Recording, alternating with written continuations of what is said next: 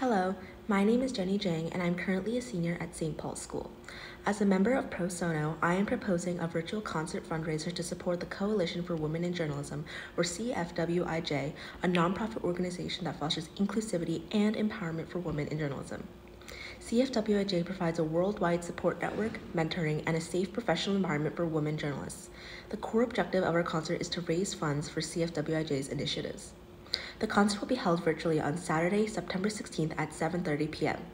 We encourage donations from the audience to support women journalists who risk their lives every day. All funds will be donated to CFWIJ. Every donation makes a difference, so please consider donating to help those in need by using the GoFundMe link in the description box. Thank you for listening to our concert and also for thinking of the well being of women that risk their lives for social justice.